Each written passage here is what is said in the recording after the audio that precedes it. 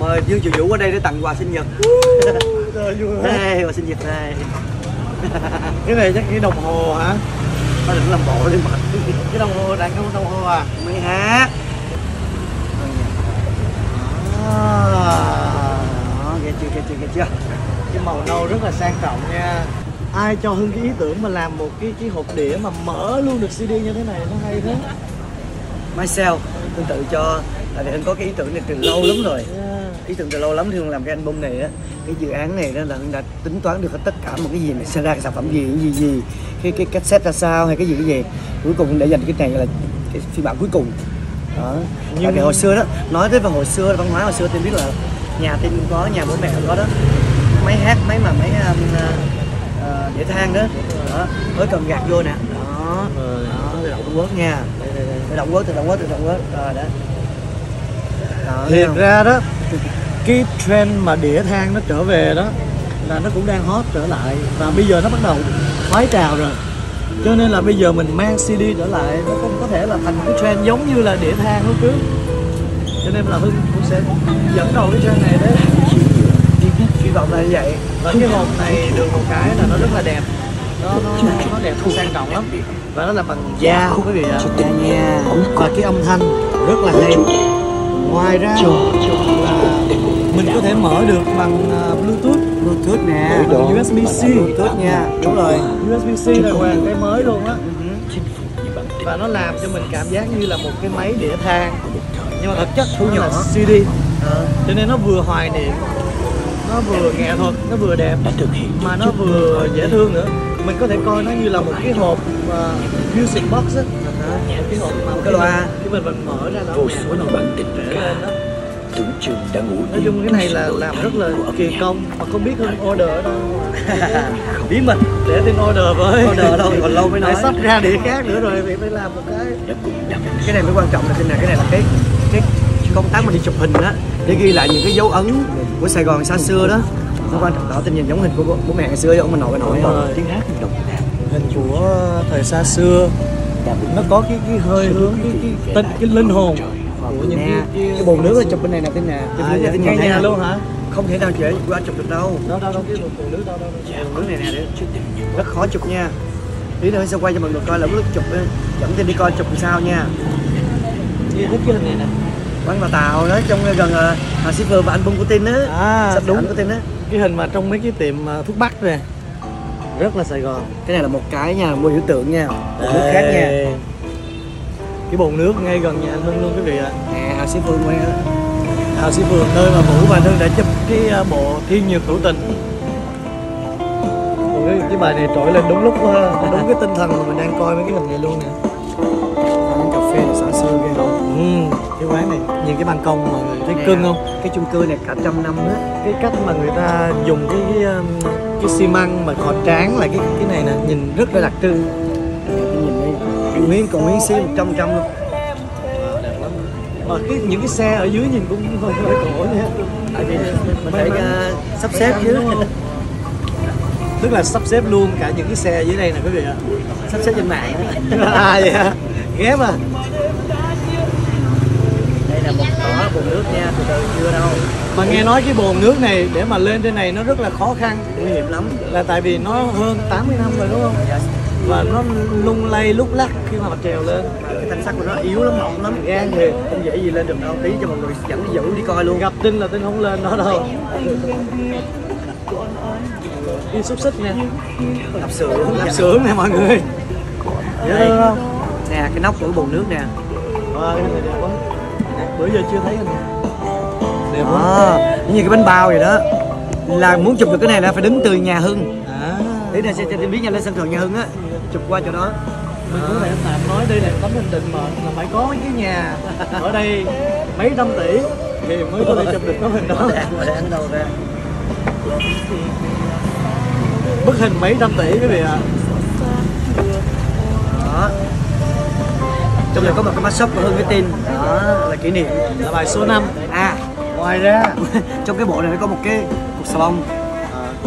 Chỉ có những người nào mà ở lứa tuổi thế hệ của mới biết được cái salon này thôi. Cho nên lúc mà mở cái hộp này ra xong mình thấy có gì đó nó thơm thơm mà cái mùi cũng xưa xưa hả?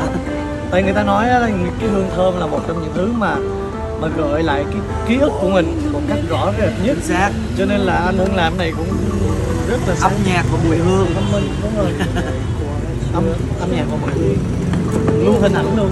Yeah. có remote đàng hoàng nha có đường dây sạc luôn á một set nó là để chọn còn một set như thế này anh bán bao nhiêu? Tôi biết hết trơn là giá bằng năm sinh của Hưng. Giá bằng năm sinh. Có nhiều người đang xem không biết cho nên mình phải nói chứ. Một triệu chín bảy mốt ngàn là năm sinh của Hưng luôn á. Một triệu chín bảy mốt ngàn. Nhưng mọi người nếu mà mua mà Vũ bán cái bộ này á thì Vũ chỉ bán một triệu chín tám bốn ngàn thôi. Tháng ba chứ. Tháng ba, tháng bốn hả? Lời và tất cả những cái hộp này khi mà mọi người mua đều có chữ ký luôn nha. Yes, bắt buộc có chữ ký hết. Thậm chí ví dụ như tặng cho chị Bảy Ghi là tặng chị Bảy á, Chị Chín.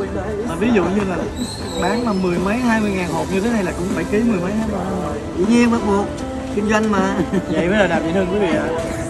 Yêu thương fan và trân trọng fan cái sự trân trọng đó là cái điều mà vũ nghĩ là là vũ luôn luôn phải học hỏi anh hưng về cái sự yêu thương chiều chuộng và trân trọng. Cũng làm được đâu?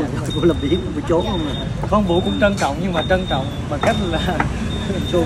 Hơi xa lánh. Cái này thơm quá để tối nay về tắm nữa. Hay lắm luôn á. Cái mùa này nó có biết biết không? Là nó có thắng luôn tất cả những cái loại xà bông nhập ở thời điểm đó mà Không ai chịu nổi cái cô này. ba đúng không? Cô ba nổi tiếng. Thơm có thật sự mọi người thử thử nè. Thử thử nha thử thử thử thử Đó, tặng cho Tiên đi nha. Thank you Cảm so ơn Tiên đã tham gia. Mà không nhận đồng bạc nào. Cái ờ, bộ này mình sẽ mang qua mình tặng cho mẹ. Là tại vì mẹ rất là thích ngồi nghe những bản bolero. Bây giờ mẹ vũ là 86 tuổi rồi mọi người ạ. À, cho nên là bây giờ cái điều mà chỉ làm mỗi ngày á là nằm như một em em bé gái gì đó. Rồi xong rồi mở bolero ở trên youtube để mà nghe. Thương vậy. Và bây giờ khi mà có cái đĩa CD như thế này thì càng tiện để cho chị mở và chị nghe nữa nên là cái đây sẽ là một món quà mà mẹ rất là thích đúng không mẹ con sẽ mang này qua Florida cho mẹ nha Bây giờ chắc chắc giờ Tiên đi coi cái chỗ mà mà mà chụp cái cái cái cái, cái thác nước đó nha Yeah, Hưng nha đang đứng ở tại sân thượng của nhà mình để chỉ cho mọi người thấy là cái gian khó khi chụp một ảnh ra sao. Ủa là nằm ở trên đó luôn Đó đó đó đó đó. Rồi, Cái bồn nước đó, đó. Thấy chưa? Rồi mọi người nhìn ở dưới đây nè, làm sao mà leo lên được hay vậy? Không đơn giản, không hề dễ leo tí nào cả, rất khó luôn. Tại vì cha đã sửa lại tùm lum hết trơn rồi. Mà chui lên đó nha, có cái cầu thang duy nhất đi lên cho nó rồi đó. Đó, cái đường ống đó. Là ngay giữa giữa là leo lên đó hả? Đó, đó, yes, có một cái ống giòn nhỏ vậy đó đó. Y chang như mấy cái phim mà 007 này nọ đó mà mấy ông leo lên trên tường. Mà chụp là chụp từ đây. Chụp từ đây. Qua. À, photographer phải từ đây bắn qua. Còn một cái nữa từ bên kia, nhà kia. Nhà đó đó, đó, nhà đó đó, bắn hy sinh hàng xóm. Cũng may là hoa đó hậu thân thiện của nguyên xóm luôn. Đó, thực hiện những cái bức ảnh mà nó đầy sống động và đầy kỷ niệm vậy đó. Trời ơi Wow. gian truân lắm. Nhớ là chiều chiều như vậy luôn nè tin nè leo lên nè. Đó ánh chiều nó mới đẹp. Không nhưng mà vậy mới xứng đáng cho cái album cuối cùng ở trong Già phút cho tình nhân đúng không? yeah. Là tại vì đó là một cái album mà mang lại rất nhiều thành công cho anh Hưng. Nhất là những cái album đầu tiên nó định hình cho cái cái, cái dòng bolero trở lại luôn mà. Mình biết không có rất là nhiều nhạc sĩ trẻ với lại những người chuyên môn trong giới đó.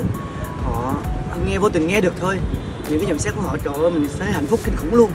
Họ, nói, họ không tưởng tượng đó là anh Đàm Vĩnh Hưng có thể hát được như vậy. Không mà mà tiên công nhận là cái album này là một cái album mà nó nó bolero nhưng mà nó lại rất là mới. Yes. đó. Nó là cái kết thúc nhưng mà nó mang một cái hơi hướng rất mới và nó làm cho mình muốn nghe đi nghe lại nhiều lần. Và, và vũ là từ khi mà sau cái buổi họp báo lên xe là đã nghe cái album đó đi rồi. Và mình cảm thấy rất là thoải mái. Cái cảm giác là thoải mái đó. Kết thúc để bắt đầu đó. Bắt Ờ, đầu đó. Kết thúc để bắt đầu cho một cái gì đó mới hơn và tuyệt vời hơn. Và cái này là tôi nghĩ là một cái dự án mà nói chung là rất xứng đáng để mà mà, mà, mà kết thúc cho cái dự án. Đây là giới thiệu một điểm thôi nha mọi người nha. Ok. không khác sẽ giới thiệu điểm. Còn bao nhiêu điểm nữa? 15 điểm nữa. Ôi trời ơi thôi đi xuống sợ quá. Nó vũ sợ chiều cao mọi người à độ cao nè mọi người có muốn leo xuống cùng với vũ không? Đi cái đường vòng này xuống hả là sân thượng nhà Để mà đó. quay cái này thôi. Thì không không biết tưởng tượng là ôi trời nhà phải quay éo xuống về mới thấy ghê nè. Đúng rồi đó. Ôi trời ơi. Ôi trời ơi. Em thành công rồi. Bye bye mọi người nha. Mọi người ủng hộ album Dạ khúc cho tình nhân 10